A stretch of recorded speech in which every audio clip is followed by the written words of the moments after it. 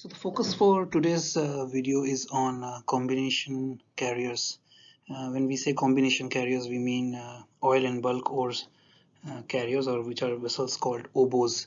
So today's video is on how uh, oil and bulk carriers, that is OBOs, they prepare the vessel when there is a cargo changeover from oil to bulk cargo and vice versa. So when oil to bulk cargo and bulk cargo to oil. So let's start uh, with the preparation procedures. Firstly, when the vessel has to change from carrying oil to carrying bulk cargo. So of course, uh, if you are changing over the vessel uh, from oil to bulk cargo, you have to wash the cargo holds and tanks. Uh, that will include washing of the access trunks as well, uh, all the places where the oil was being carried. Make sure that you flush all the main suctions into the cargo holds and tanks and then strip it dry gas free all the cargo holds and tanks uh, carry out uh, the normal tank washing procedures that is normally followed.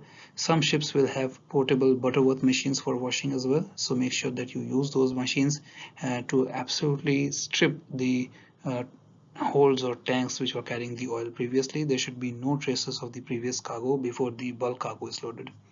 Uh, after washing make sure the dirty water which has been collected in the slop tanks are discharged through the requirements of MARPOL Annex 1 which specifies the criteria for the oil discharge monitoring control systems. So make sure that you comply with the requirements of MARPOL Annex 1 after washing the tanks and holds uh, make sure they are maintained in an inerted condition. So purge the tanks with inert gas to bring down the hydrocarbon content to less than 2% and make sure that you keep checking the hydrocarbon content with uh, the use of a tank scope.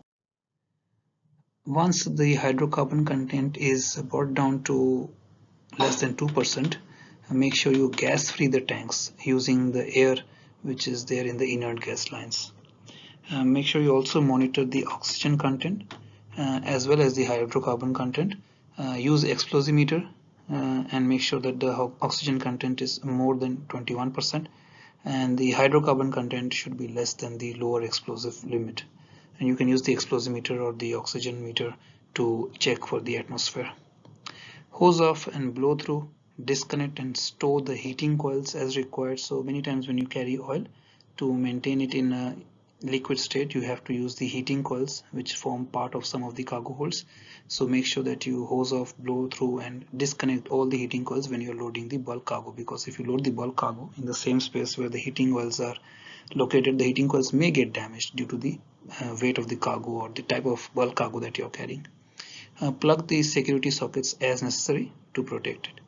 Complete the hand hosing and digging of holes and sumps to the requirements of the next cargo. So mostly bulk cargo if you're loading bulk cargo you need to have a very clean cargo hold. You need to have a dry cargo hold. So make sure you take all the necessary cleaning and uh, uh, cleaning precautions. Drain the cargo holds and the suction wells and blank off the main suctions to the cargo holds as necessary. Ensure that stripping discharge line to the aftermost hold is securely blanked. In continuation make sure that you check that sounding pipes and bilge wells are open and clear of obstruction.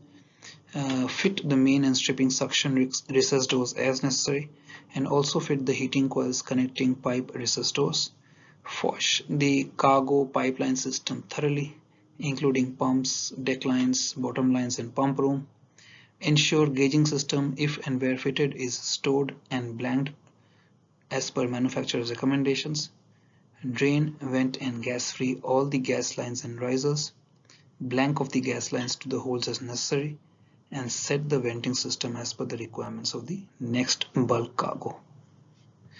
Then we talk about uh, checking the hatch cover sealing arrangements and closing devices. Make sure that the ballast tanks, coffer dams, void spaces and pump rooms for checked for any kind of uh, the presence of flammable gases. Uh, ventilate as required and prove that the compartments are absolutely gas-free. If slops are retained, then ensure designated pipeline segregation are fitted and slop tanks are fully inerted and relevant venting system adopted as necessary. After all tank cleaning is completed, do daily checks for the hydrocarbon gas in the holes, tanks, double bottoms, wing tanks, pump rooms, ducts, cofferdams, stool tanks, void spaces, etc. After 14 days, if you observe there is no hydrocarbon content, then the daily checks may be reduced to once every two days. Now, most of the ports, when you are changing over from being an oil carrier to a bulk ore carrier uh, on a OBO, then uh, once the cargo holds and the tanks are ready, then an inspector boards the vessel and inspects the vessels before providing his approval or her approval for loading the next cargo, which is the bulk cargo. So this was uh, the preparation of the vessel when she when changing over from oil to bulk cargo. And then I will now talk about changing over from a bulk cargo to oil. So if your vessel was carrying a dry bulk cargo previously and now you are changing over to an oil carrier carrying oil in bulk. So in that case, of course, again, uh, it's the basic precautions where you have to start sweeping the holes, cleaning out, lifting out all the sweepings for disposal. There should be no traces of the previous cargo. Wash the cargo remains off the bulkheads with a high pressure water jet stripping slowly to remove the water leaving solid residues. Remove solid residues from the tank tops and sumps and prove that stripping suction is clear. Remove the suction doors and attach securely to stowage positions. Close off the sounding pipes to the sumps as required. Remove the blanks from the main cargo suction and stripping discharges to the aftermost hold and lower secure in place uh, connect the heating coils which I said before are often required to maintain the oil in the liquid temperatures or rather in the liquid state. Also remove and, uh, any requisite blanks from the gauging system and make it fully operational. Uh, wash off all the stripping lines thoroughly to remove solid residues.